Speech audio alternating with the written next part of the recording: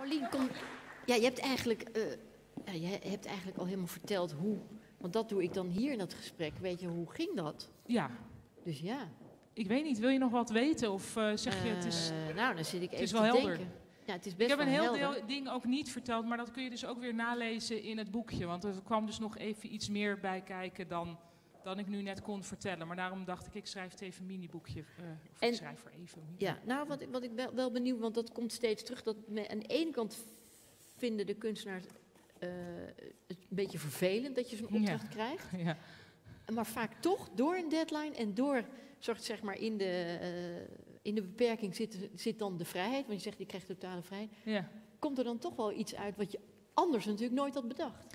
Ja, dus dat vind ik ook heel- inderdaad heel leuk. Nou floreer ik sowieso wel bij deadlines, moet ik zeggen. Dus dat, daar was ik ook wel van overtuigd. Maar wat wel, ik werd hier dus een richting opgedrukt... dat er daar uiteindelijk op neerkwam dat ik stiekem dat archief in moest... om die gouden kersenpit te verstoppen. Ja. En dat ging eigenlijk wel tegen mijn eigen karakter in. Want die mensen zijn allemaal super aardig. En ik moest op een gegeven moment daar naartoe en zeggen van... ja, ik wil nog even wat foto's maken... Eh, dus moest ik echt liegen. En dat vond ik wel moeilijk. Want ze waren gewoon zo. eh, ze wilden mij eigenlijk ehm, in alles bijstaan. Behulpzaam eigenlijk, ja. Heel behulpzaam. En, maar het, het was voor, voor wat ik had bedacht wel belangrijk dat ik echt de enige ben die weet waar de kersenpit is. En weet je het nu nog? Ja, dat weet ik, ja. Ehm, en maar daarom ben ik ook expres in alle, je hebt acht eh, zalen daaronder. Het is allemaal onderaards. Hè? Dus onder dat archief zijn acht zalen die helemaal vol staan met, met dozen. Ik ben expres foto's gaan maken in al die acht zalen. En toen heb ik eh, in één van die dozen, in één van die zalen, in die 16 Ja. kilometer, eh, heb ik de Gouden Kersenpit En verstopt. was dat een intuïtieve loop of dacht je echt van nee, dit heb ik heel rationeel zo bedacht en ik doe het in die doos? Nou, het had ermee te maken dat de medewerker die met mij mee was, die moest van een je beetje ver weg zijn. Ja. Nou, dus die stond eventjes, stond er niet helemaal met zijn neus bovenop. En omdat ik dus niet gewend ben om stiekem dingen te doen, was ik er heel nerveus over. En dus de eerste gelegenheid die ik zo'n beetje voor me zag, die heb ik toen maar gepakt. Nou wordt er over dat eh Flipje Museum soms misschien door de buitenwereld lacherig over gedaan. Kan, weet je wel, dat, Ja. Wat, wat, wat is er jou van bijgebleven? Wat, eh, wat Ehm, ik is heb eh, over een, sfeer van lacherigheid, eh, ik wist er, ik kende het museum nog niet en die sfeer heb ik ook niet, niet meegekregen. Ik was ja, blown away door die sleutel. ja, dat die vind is ik ook echt een prachtig. verhaal. Ja. Ja. Maar en dus toevallig gevonden, dat vind ik, dat vind ik echt... En het is een prachtig ding. En Alexander van Steen, de directeur, weet er ook heel veel van af. Dus die vertelde mij ook, voordat... eh, dus in die tijd van die sleutel...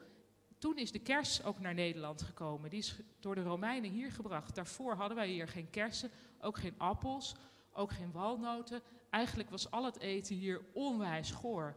En door de Romeinen is het dus ietsje, ietsje beter toeven geworden in Nederland. Iets van een eetcultuur eindelijk Ja.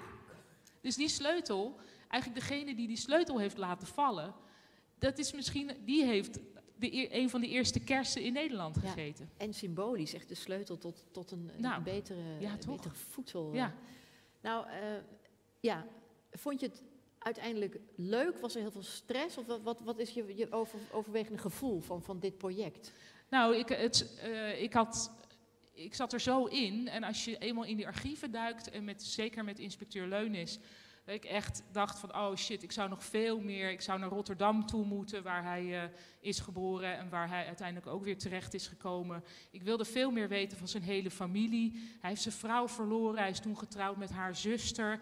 Eh, de twee dochtertjes die ze hadden, wat daarvan ge- gekomen is, dat het, ik wilde er eigenlijk ik vond het eigenlijk heel jammer dat ik op een gegeven moment moest zeggen: ja, nu moet ik het stopzetten.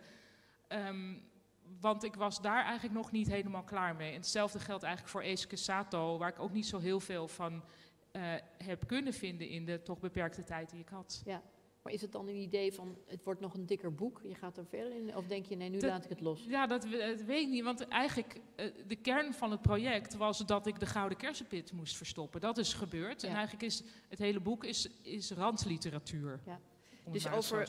Ja, Dus woord. over 40, 50 jaar, als jij op je sterfbed ligt, Ja. dan zitten we natuurlijk allemaal, waar ligt die kersenpit? Ja, maar Ga je het dat- dan zeggen? Nee, want het is gewoon echt. eh, Ja, dan, moet, dan moeten mensen maar meer interesse tonen in dat archief. Want als er maar lang genoeg wordt gezocht, dan komt die gouden kersenpit boven. Oké, dankjewel. Dat is een prachtig project. Paulien Cornelissen. Dank je. Ja.